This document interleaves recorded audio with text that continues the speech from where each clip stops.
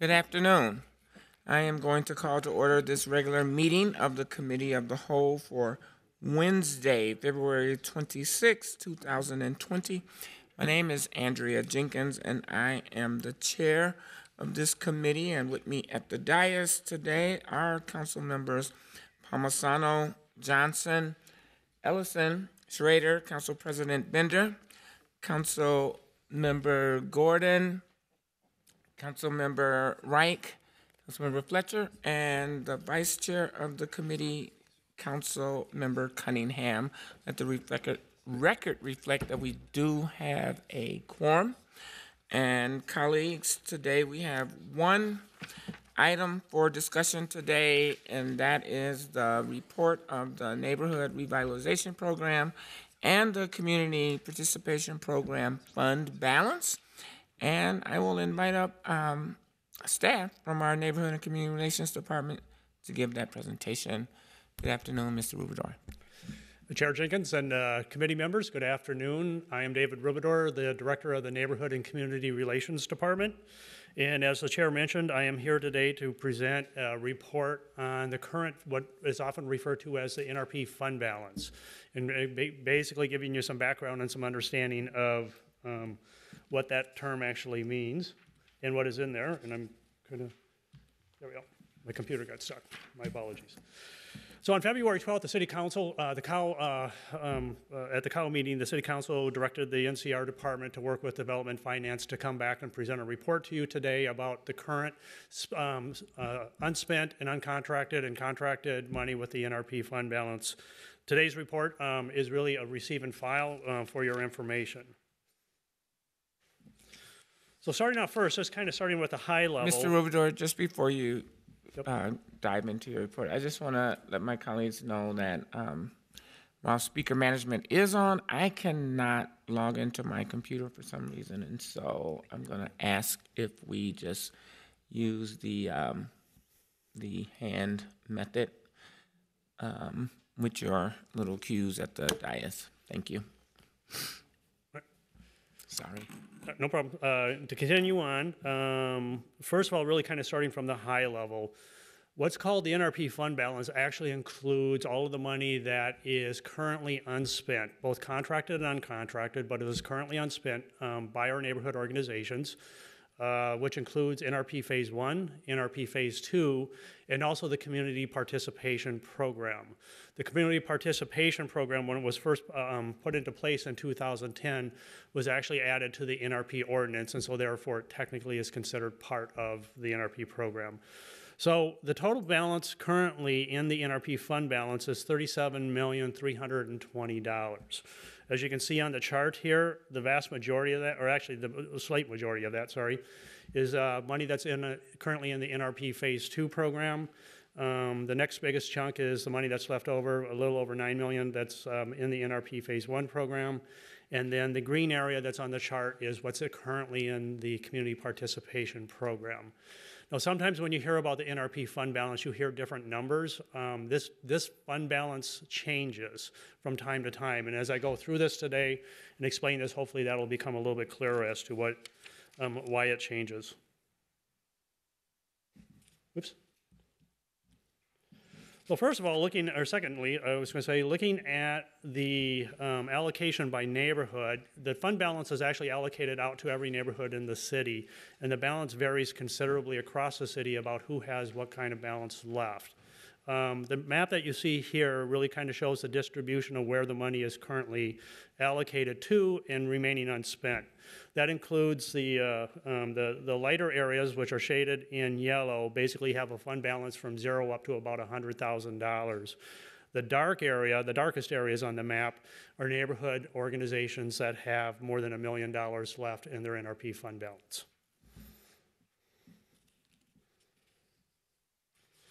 So as I mentioned, there's a lot of factors that affect what's really in the fund balance and why it changes and stuff over time. And I wanted to, I think, really kind of spend a little bit on this because the uh, there are some nuances as to why certain neighborhoods have certain different levels of funding. Um, First of all, in 2010, um, the city council took an action to reprogram $10 million out of the uh, NRP program into the CPP program and basically stop the capitalization of the community participation program for two years. And so that money was taken out. In essence, the total amount of money that was available and allocated to neighborhoods had dropped by $10 million. Um, that was done in an effort at, a, at that time, if I recall correctly, um, there were some significant tax increases, property tax increases across the city, and that was done as an attempt to mitigate that while still continuing to have money go out to neighborhoods. That money, um, uh, in 2017, the city council committed to repaying that money back into the program. And over the last um, three years, that $10 million has come back into the program. So a $10 million repayment, in essence. Also, neighborhoods started the NRP program at different times. Um, the first neighborhood, I believe, started in 1992, um, and the last NRP Phase 2 plan was approved in 2017.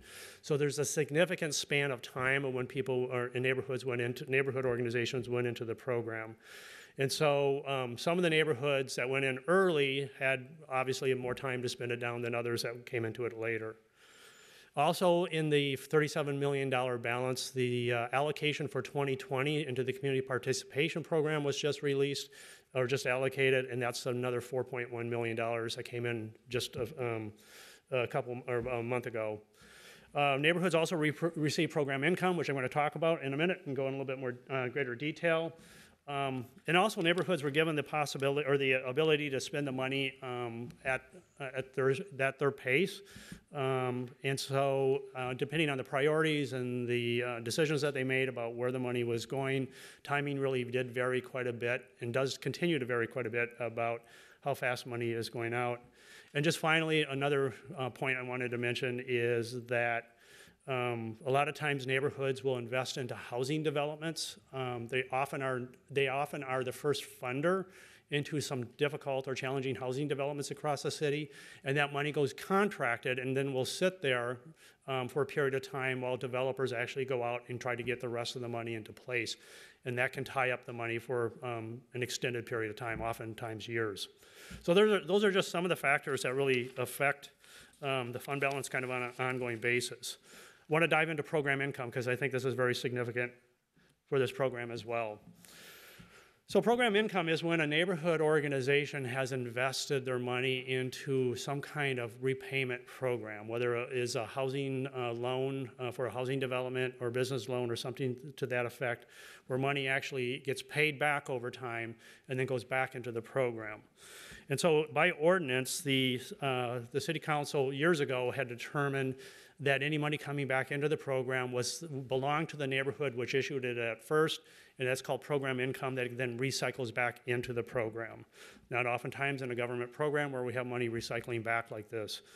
Um, in this particular situation for NRP's phase one and phase two only, CPP doesn't um, uh, allow this, but or doesn't have this, but in NRP phase one and phase two, 30, a little over $35 million has been paid back into the program um, from um, uh, program income. Um, that's a little over 15% of the total capitalization of NRP Phase 1 and Phase 2, so it's a significant amount of money. And I should say about, um, of that uh, 35 million that's come back, um, a, a, little over half of that has come back just in the last 10 years. So it's been fairly recent that um, the um, about amount of money coming back in has increased. Uh, one other thing I want to mention before uh, um, I conclude is that the um, first 20 years of NRP, there wasn't any real expectations set on neighborhood organizations on the timing of spending their money.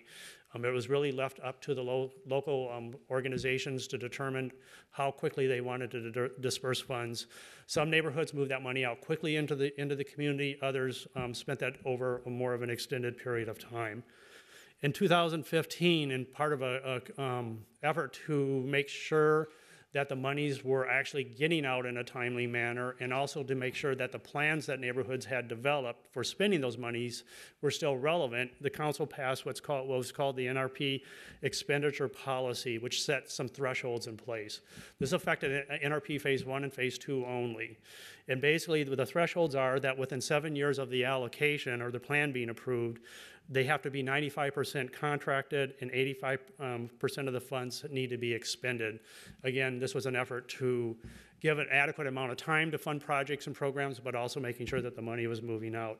We do um, an ongoing compliance check on that, and all neighborhoods right now are in compliance with that expenditure policy. One final note is the CPP program, when that was put into place, actually has a much shorter time frame to it. It's not nearly as much money as what NRP Phase 1 and Phase 2 have. But um, the CPP program, which was adopted in 2010 and refined several times since then, basically sets into place that um, it's up to the department director, currently myself, um, to make the determination if a neighborhood's sitting on uncontracted money too long. We have a department policy that basically after two years of allocation, if a neighborhood has not moved on the money or submitted an application and, and moved for contracting, that we then start um, uh, initiating further action to make sure that that money is moved out. With that, that concludes my presentation. Thank you, um, Mr. Rubedor. Are there any questions or comments, Councilmember Schroeder? Thank you, Madam Chair. Uh, First, I want to thank the Director, uh, Rubedor, as well as uh, Bob, Steve, and Jack for really throwing this together at the last, last minute. Um, We've just had a lot of questions about how we're going to potentially fund neighborhoods, and I thought it was important to really get this number out there and really get a little more explanation. For me, when I read the Q report and just have that one line about 34 million, um, and especially coming from neighborhoods, there's a lot more to that number. Um, And really just wanted to make sure all my colleagues knew, you know, 34 million is a lot, uh, but that's not money that's with the neighborhoods. That's not something that is kind of coming back uh, in any way. And uh, just to be kind of clear, this this are these uns, these are um, this is money that the neighborhoods currently have available. It's not just unspent funds. Does that make sense? Uh, Chair Jenkins and uh, Councilmember Schroeder, if I understand you correctly, uh, these, these funds are, um, these are allocated to the neighborhood organization. They're either contracted or uncontracted at this point, but it is available to each of the organizations. And I believe with the RCA, there's a listing of each neighborhood and which neighborhood has which, um, how much money in each one of those categories for, for both Phase One and Phase Two, as well as the CPP program. So these funds are available for neighborhoods to use. Okay. Thank you. Um, Councilmember Gordon? Thank you very much. I have a couple questions. Um, It, it looks like there's over 19 million that's um, unspent and uncontracted. Could you just talk a little bit about why that isn't contracted and maybe how much time we expect it, it to get committed? I mean, you mentioned the seven years, um, but I think it might help us to understand why some neighborhoods would still have significant amount of, um, you know, hundreds of thousands of dollars that they haven't, un- they haven't spent and they haven't contracted yet. Uh, Chair Jenkins and uh, Councilmember uh, Gordon, um, uh, my colleagues will probably jump up and add a little bit more detail to this. Um, Again, remind, uh, uh, part of that is, a little over 4 million is from the CPP program, which is just a recent allocation that went out. Um, Also, the, the kind of speed of program income coming in right now has picked up, and so neighborhoods are getting uh, um, that money back, and they may not have um, moved that into contracting yet. Basically, when that, when the program income comes back in, it goes back into the same plan strategy that it was before, but neighborhoods can move that to a different strategy. And then that, then that has to go through a contracting process as well. I don't know if you guys had a little bit more that you wanted to add on detail on that, but, um. If, if I may, so. Council, S- Steve Gallagher, I'm policy specialist for the um, NCR department. And part of the, part of the explanation would be some neighborhoods might have um, planning going forward, I would say like the Southwest Rail um, area, where those neighborhoods have a long-term plan of where they might spend their funds, but there's no contracting opportunity at that time. However, all, all of those dollars are in strategies, which, which the council um, approves in their, in their phase one or phase two plan. So they're accounted for with plans to go forward. They're just not contracted at any one specific time, or not yet. We'd expect them to be within the seven-year policy of 2015? I, th- all of them will be reviewed within the seven-year, seven-year time, time period, depending on where, um, what their intent for those funds are. A waiver could exist, Um, like if the uh, light rail or commuter rail does not happen for a few more years, there could be a waiver issued because that's where they're planning for. And I guess my other question might be just as complicated, uh, but um, I was, so it looks like there's a lot of money that's come back in program income, but we don't necessarily, and I'm sure we could come up with an accounting of how much of that makes up the, the totals in each one of the categories of uncontracted and not contracted. Is it significant? Is that uh, much of it? I mean, the, the total program income is 35 million, and then the total um, figure for the other one is 37 million or something like that. So um, there's, uh, there's almost a match. I'm just wondering if we have that, and if we think that's a significant portion of that is from program income.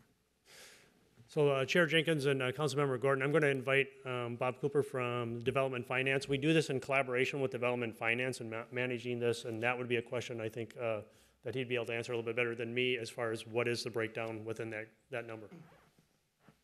Thank you, and welcome, Mr. Cooper. Madam Chair, Councilmember Gordon, I'm Bob Cooper. I work with, for the Development Finance Division of the Finance and Property Services Department. Um, This question will quickly drive us um, deep into the weeds of NRP. In Phase One, there was little distinction made between program income and action plan funds. So we do have a sense, but not an exact sense. In Phase Two, because the rules changed, we do know a separation on the contracted side of, of what program income dollars are contracted and which action plan dollars are. However, on the expenditure side, we just track overall expenditures by contract. So on the contracted side, we can get a pretty good sense. Um, and I think it's safe without having done the actual analysis that a fair portion of the uncontracted dollars are program income funds that have returned. Um, Along with, let me quickly add so I don't leave uh, misperception, it's only within the last three years that $10 million of action plan funds have returned um, for, to be available to neighborhoods to contract. And so some of those also sit there as neighborhoods begin to do the planning and to get those funds out as well. So over the last three years, between program income and new capitalization, um, it's probably over $20 million that has just become available within the last three years. Does that help explain some of that? I think so. Um, I'm also a little bit curious about how many neighborhoods didn't create revolving loan funds, and so they would have no program income coming back. Um, It's because it sounds like there's probably a big variety, and people that, uh, and, and groups that organized and planned it out, and they have program income coming back would have more resources and more flexibility than those neighborhoods who didn't. It's also possible that those neighborhoods that were able to do those kinds of programs were a little bit wealthier because people could pay back those loans that they got for their home improvements. Um, So have we done any kind of analysis about that? Um, We do um, track program income by neighborhood and know exactly how much program income has come back to each neighborhood. You're correct, some neighborhoods, the residents of, of the neighborhood needed home improvement grants, not loans, and so that didn't offer a repayment option. Some of the neighborhoods, because of the um, condition of the housing, invested their money in commercial development projects or um, What we've seen a lot lately is investment in affordable housing projects citywide. Um, Few neighborhoods have had little or no program income, so almost every neighborhood has received some program income, some as much as, um, I believe the, the Longfellow neighborhoods over the life of the program have received as much as almost $3 million in program income from various um, projects that they've invested in. Have we done any kind of analysis about, um, the, I don't know what term we want to use, but impacted areas or the, um, remember there were the three categories of neighborhoods when NRP started? Um, So I would have just a theory that would say, oh, that would give an opportunity for a wealthier neighborhood to have more program income because they would have people who could afford to pay back loans. Whereas if, if, if a uh, area that was poorer, um, they would have a bigger need to invest in their housing, and they wouldn't have a, an ability to do it quite the same way. Does it look like um, the, my little theory here is borne out in any fact? Madam Chair, Councilmember Gordon, um, we haven't done that specific analysis. It would be easy enough to do. I'd be glad to um, pull that together. The three types of neighborhoods that Councilmember Gordon refers to were uh, an, an integral part of the original NRP program where every neighborhood designated itself as a revitalization, redirection, or protection neighborhood. And that was part of the 20-year revitalization plan that the city council approved, those three neighborhoods. But it would, um, I'd be happy to pull that sort of information together. It would be and good see to what it see looks that, like. because it would be the kind of um, institutional, um, classist, racist practice that we want to break ourselves of, if that makes any sense. Would it, would it be safe to say that these program incomes are going to continue to accrue over time? I mean, so these fund balances won't remain static. They will continue as people continue to pay back. Those fund balances will grow. Uh, Chair Jenkins, I think that would be a, a, a correct statement. There's going to be additional program income coming in for years to come. Okay. Uh, Councilmember Cunningham.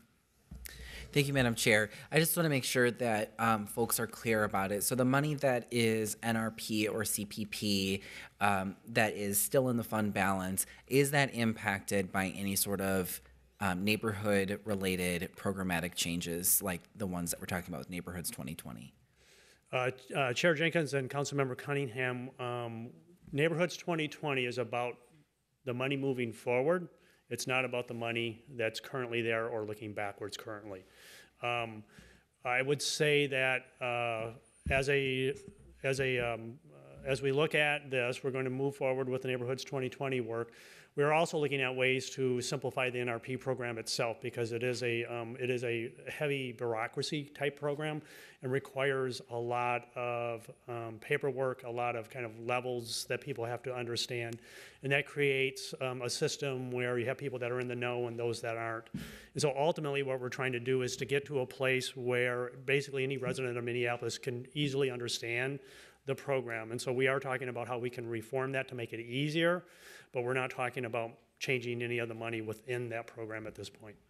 And if I may, um, so um, with the revolving fund, any revenue that's generated from that, does that still fall within the money from the past, or is that something that's impacted by Neighborhoods 2020? Um, Chair Jenkins and uh, Councilmember Cunningham, the, it would take a city council action to change any of that, any redirection of any of that money. So just to be really clear, it's not something that would be decided by the department. What I'm speaking of as far as making this simpler is really programmatic changes, which still would need to come to the council for approval. And again, that's trying to basically simplify the system. Um, NRP is complex. It's just as even as you hear and we talk about the program, it's complex. And the easier and simpler we can make this flow, the better. But that's not in that conversation is not talking about a redistribution of those funds. Um, that's not happening with Neighborhoods 2020. I just wanted to be really clear. That is something that we will start addressing as we move forward. Ultimately, as we move into this um, vision of having our neighborhood organizations be partners with the city around racial equity and building greater inclusion and diversity within their decision-making process, we need to look at all the programs that are affecting that in order to make sure they're in alignment with each other around those goals. Um, Neighborhoods 2020 is about that. Um, we will come back and take a look at um, NRP as a program and ways that we can make do alignment changes to that to make that actually in alignment with those goals as well. I mean, basically at this point, what we're talking about is um, the new the new neighborhood program, whatever we call it, um, Neighborhoods 2020, is about 4.1 million dollars a year. There's still about 30 million dollars left. If you take the CPP money out, there's still about 30 million dollars left in the NRP program. I think it's it would to achieve our goals, looking at those collectively in programmatic ways is going to be really important to achieve the racial equity goals that we're looking at. Great, thank you. I just wanted to make sure folks were clear about the moving forward versus the past. Yep, so this isn't, you. this isn't about changing, this is really about changing the program, um, moving forward, uh, the program moving forward. There'll be, any f- actions regarding NRP still need to come, would have to come back to the council at a later date. Uh, Councilmember Wright. Uh, Thank you, Madam uh, President, or Vice President.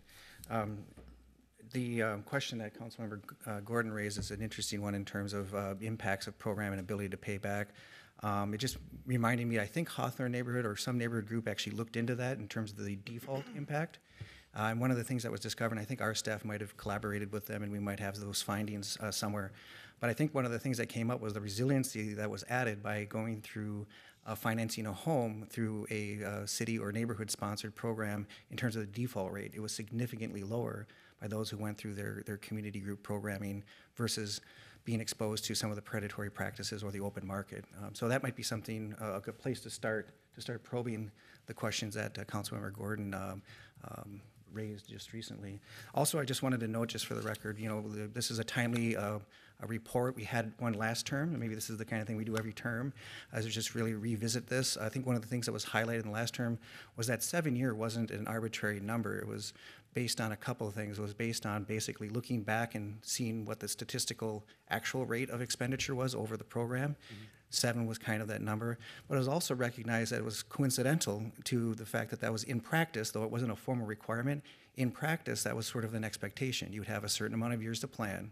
You'd have a certain amount of years to put together um, a strategy to implement that plan. You would start to implement portions of that plan in partnership, and there, as you've outlined, uh, pro- project-based timelines that were, you know, in the three-plus range uh, typically. Um, and so when you put in the planning, the buy-in from the community, the targeting of a specific program, getting a partner and getting a project forward, um, people kind of followed that almost instinctively, that seven-year-ish range.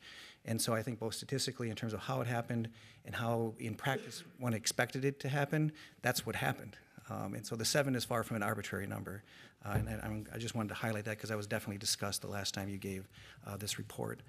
Um, and so again, I think um, the council members have raised a, a certain level of interest in what the data can mean moving forward, and I'm certainly going to be engaged in that as well.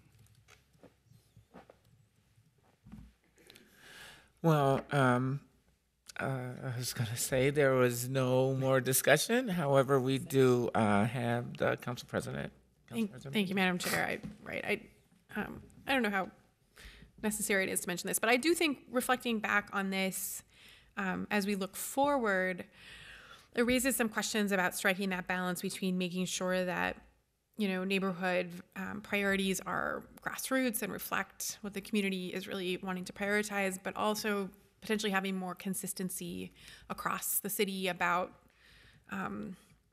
things like combining organizations or not, or priority funding for things like revolving funds or not, uh, just because there's such a um, difference across the city, so that when we start at any given point now, looking forward, these neighborhood organizations are in really different places based on the decisions that they've made in the past. So, um, again, I think for me, one of the conclusions here, looking at this is looking forward, I, I am excited about the ways in which that I think we're trying to provide a little more guidance and consistency for neighborhoods um, so that if they didn't choose to do a revolving fund 30 years ago, they're not like now left with no money and now they can't do anything, right? So I, I think just providing that clear and consistent um, uh, approach as much as we can as we look forward is, I think, one of the goals that we all have and, and is reinforced by looking at the status of what's happened so far. Mr. Rivera, did you want Sure, to I- respond? if I could, uh, just, uh, um, Chair Jenkins and uh, uh, Council President uh, Bender, yeah, I am- am to- totally agree. And I think, as you see, it was a little bit uh, um, uh, alluded to in here, but even over the last um, um, seven or eight years, our work with neighborhood organizations has changed a lot.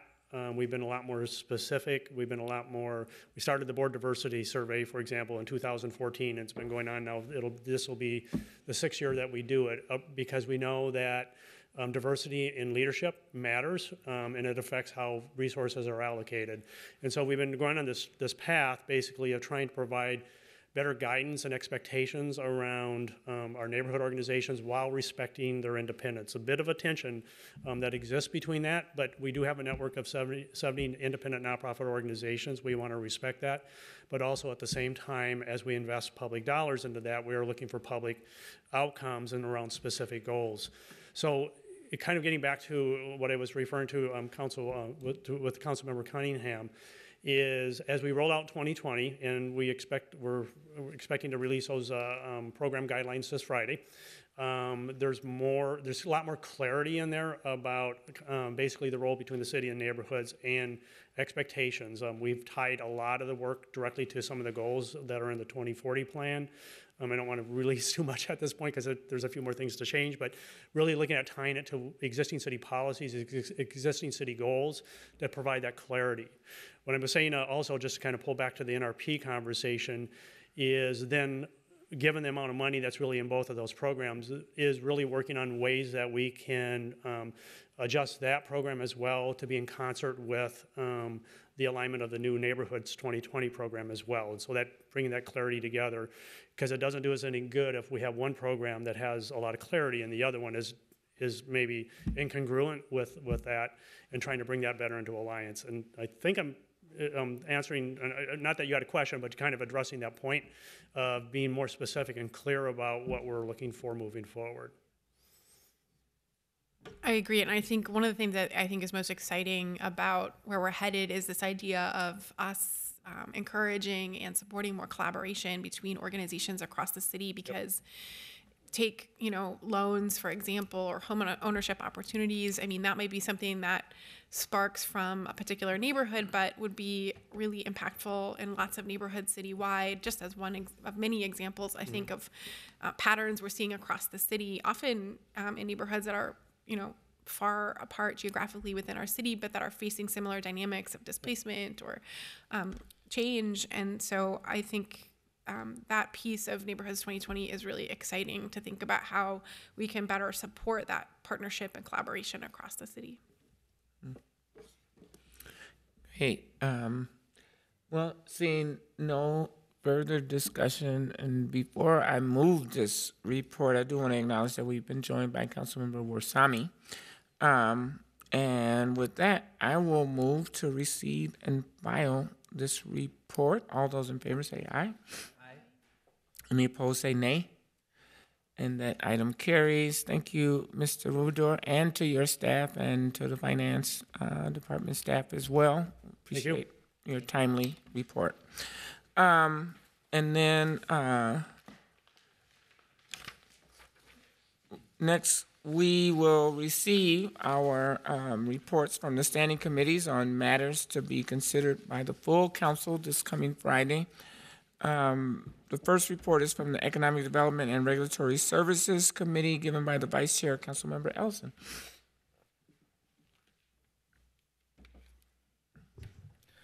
Thank you, Madam Chair. Um, EDR, the Economic Development and Regulatory Services Committee has six items to bring forward to the full council. Uh, one is the liquor license approvals. Two is the liquor license renewals. Uh, three is the gambling license renewals. And four is a uh, rental dwelling license conditions uh, for a number of addresses. Five is uh, the Minnesota Department of Employment Economic Development Metropolitan Council's Tax Base Revitalization Account uh, and Hennepin County's Environmental Response Fund uh, Fall 2009 Brownfield Grants. Uh, and six is a uh, the passage of a res- resolution committing to continuing the work of economic inclusion, affordable housing, and racial equity by working together as elected officials and departmental staff. Uh, and I'll stand for any questions. Thank you, Councilmember Ellison. Uh, are there any questions? Are there any questions? Seeing no questions, we will move to the next committee report, the Housing Policy and Development Committee, given by Councilmember Gordon. Thank you very much. The Housing Policy and Development Committee will be bringing forward three items for consideration. The first um, deals with um, land sales to uh, implement our missing middle housing pilot program. Um, there are several lots that are being sold to help uh, um, promote the preservation and also the creation of more um, medium-density housing. Um, Second item is authorizing a notice of funding availability for the implementation of the Housing Stabilization Pilot Program funds. And the third item is to, um, uh, a motion to delete something from the agenda from a previous meeting, which is a resolution calling on the Minneapolis Public Housing Authority to delay further Section 18 demolition and disposition action on its scattered site housing. That motion failed in committee um, five to one, and the committee's recommending we move to delete it from the agenda. Thank you, Chair Gordon. Are there any questions? Are there any questions? Seeing none, the next committee report is the Public Health, Environment, Civil Rights, and Engagement Committee given by the Chair, Councilmember Cunningham. Thank you, Madam Vice President. The Public Health, Environment, Civil Rights, and Engagement Committee is bringing forward two items for approval. Uh, The, the first is a uh, a slate of Minneapolis Advisory Committee on Aging appointments. And item number two is also um, a group of Transgender Equity Council appointments. Um, I really recommend for my colleagues to check out the RCAs. Um, there are short blurbs about each one of the applicants um, and the appointees. Uh, we are very blessed to have folks with such experience and knowledge and expertise volunteering their time to help advise us as an elected body. So, um, recommend folks check that out. We also had a presentation from the Office of Violence Prevention with an update about the strategic planning process that they're in right now, um, with a timeline and just kind of discussing where they've been, what they're doing. Um, so I would recommend for my colleagues as well as the public to check that out because it's uh, very informative about where we've been and where we're going um, as a city with operationalizing our Office of Violence Prevention. I'm happy to answer any questions. Thank you, Chair Cunningham. Are there any questions? Are there any questions? Seeing no questions, the next committee report is the Public Safety and Emergency Management Committee. Uh, and I think that report will be given by the Vice Chair, Councilmember Fletcher. Thank you, Vice President Jenkins. Uh, The Public Safety and Emergency Management Committee is bringing forward five items for consideration. Uh, The first is the reappointment of Barrett Lane as Director of Emergency Management. Uh, Second is our contract with the University of Minnesota for bomb detection at TCF Stadium. Uh, The third is a contract with the BCA for participation in the state's Human Trafficking Task Force. Uh, The fourth item is another, uh, oh, sorry, both three and four are uh, contracts related to the Human Trafficking Task Force. And item number five is uh, training reimbursement from the Minnesota Board of Firefighter Training and Education. I'm happy to stand for questions. Thank you, Councilmember um, Fletcher. Are there any questions?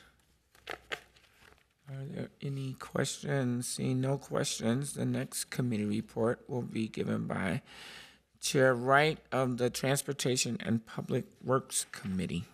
Uh, Thank you, Madam Vice President. The committee will be forwarding 15 items for consideration. Uh, Item one and two are street resurfacing projects in the city.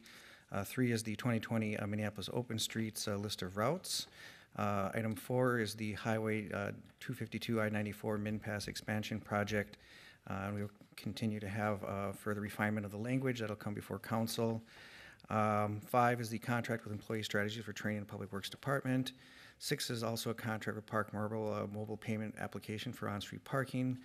Seven is the grant application for the 2020 Metropolitan uh, Council Regional Solicitation for Federal Transportation Funds. Um, Eight is a request for proposals for Upper Harbor Terminal redevelopment project planning, engineering services for street and public utility infrastructure. Nine is the Industrial Boulevard multi-use trail appropriation increase. Ten is the President's Bicycle Boulevard uh, layout approval, some uh, uh, wel- welcome improvements there. Uh, And the final items, uh, 11 through 14, are all bids for activities of the uh, department. And the final was the report from the Americans with Disability Act Transition Plan for Public Works, which generated a lot of interest and discussion at committee. I'll stand for questions, Madam Vice President. Thank you, um, Councilmember Reich. Are there any questions? Are there any questions? Seeing no questions, the next committee report is the Ways and Means Committee given by Chair Warsame. Thank you, thank you, Madam Vice President. The Ways and Means Committee brings 19 items for approval on Friday. Item number one is a Civil Service uh, Commission appointment. Item number two is the reappointment of the city assessor. Item number three and four are legal settlements. Item items number five to 13 are contract amendments with regards to the public service building project. Item number 14 is a bid for customs vinyl artwork for the public service building project. Item number 15 is a contract amendment with AP Midwest LLC for the East Side Storage and Maintenance Facility. Item number 16 is a bid for a roof depot hazardous materials abatement project. Item number 17 is the Capital Long Range Improvement Committee, or CLIC appointments. Item number 18 is the 2021 to 2026 capital budget process and net debt bond resource levels. And the final item, item number 19, is the downtown traffic control services funding for 2020 to 2022. And I happily uh, stand for any questions. Thank you, Chair Warsame. Are there any questions? Are there any questions? Seeing none, our last committee report will be given by Councilmember Schroeder, the Chair of the Zoning and Planning Committee. Thank you, Madam Chair. The Zoning and Planning Committee will bring forward five items uh, for approval on Friday. Uh, The first is the appointment of uh, three new commissioners to the City Planning Commission. Um, Also, just encourage my colleagues to take a look. We were really lucky to have some really qualified people that will be joining us on the Planning Commission. Uh, Second is the approval of a vaca, um, of a vacation at uh, 125 First Street North. The third is the approval of a street vacation at 907 Sibley Street Northeast.